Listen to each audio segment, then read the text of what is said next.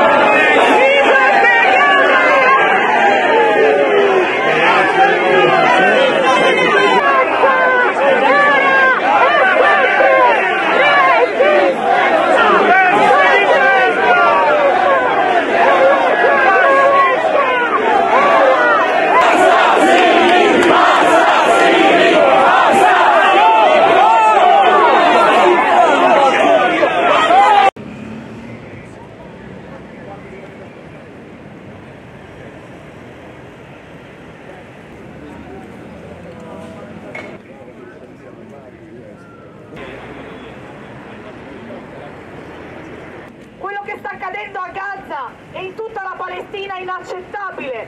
Perciò oggi essere qua durante il 25 aprile vuol dire dire no al genocidio che sta avvenendo in Palestina. Essere antifascisti oggi vuol dire essere antisionisti e non tolleriamo che vengano sventolate i simboli di uno Stato oppressore e colonialista che sta in questo momento commettendo un genocidio.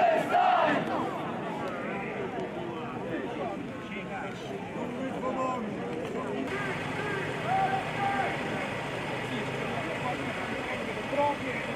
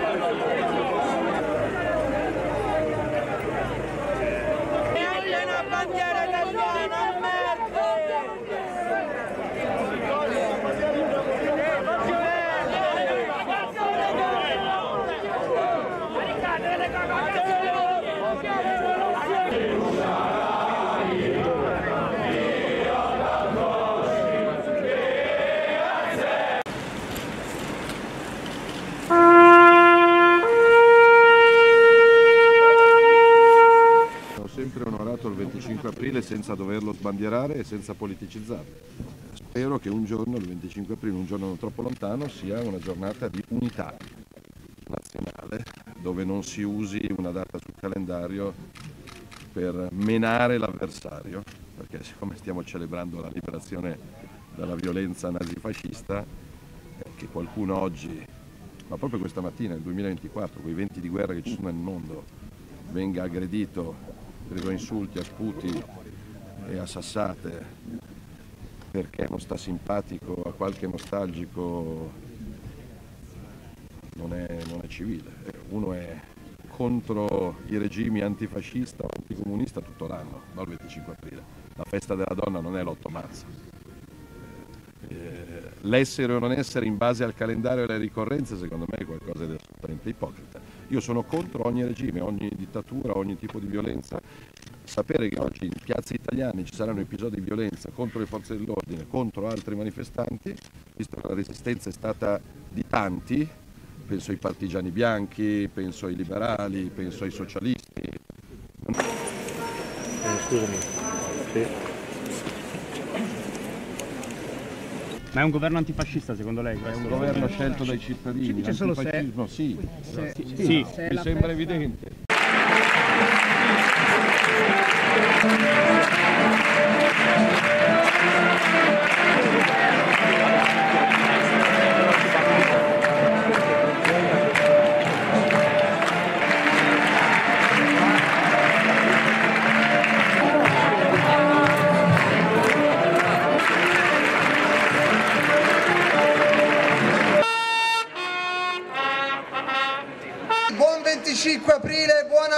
Della liberazione dal nazifascismo!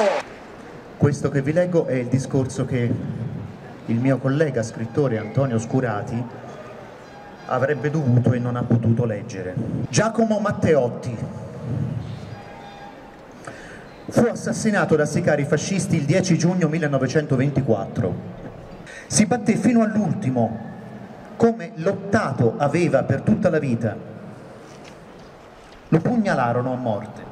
Non si commemora soltanto l'omicidio politico di Matteotti, si commemorano anche le stragi nazifasciste perpetrate dalle SS tedesche con la complicità e con la collaborazione dei fascisti italiani nel 1944. Lo riconosceranno una buona volta gli eredi di quella storia? Tutto purtroppo lascia pensare che non sarà così.